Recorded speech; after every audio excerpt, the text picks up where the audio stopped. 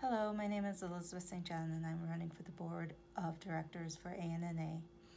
I have been asked as to why I want to um, be on the Board of Directors and one of the reasons I want to be on the Board of Directors is my experience on the Conference Committee has taught me how to work with various other individuals and um, people throughout the entire country different areas of expertise and their thoughts and ideas and how to bring that and make a cohesive whole that brings together everybody's ideas and helps put out the best conferences that we have um, that we can for everyone. And I want to be able to bring that experience and that fun that I've had with that into the board and see if I can now expand that into bringing into the best experiences to the board and have translate that into the best experiences for ANNA.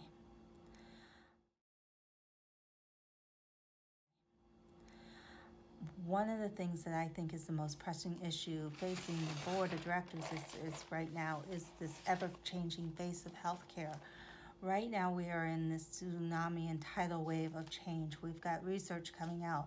We've got um, changes in, in, initiatives and um, things going through with the government.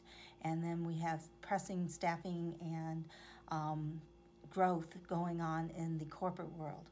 I want ANNA to stay out in the forefront, advocating and affecting this change. We want to be this the change maker in in on all these discussions and being that person who or that group that is advocating not only for the patient and their families, but also for the nephrology nurse in all of this because we need to keep our voice out there and we need to be the ones that are riding this tidal wave and staying in the forefront and keeping everybody and leading this charge.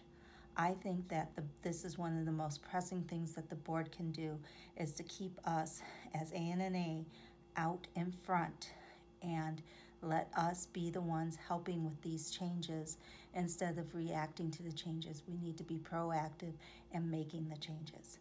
I see that uh, my time on the board will be best served and help in helping with these changes. Thank you.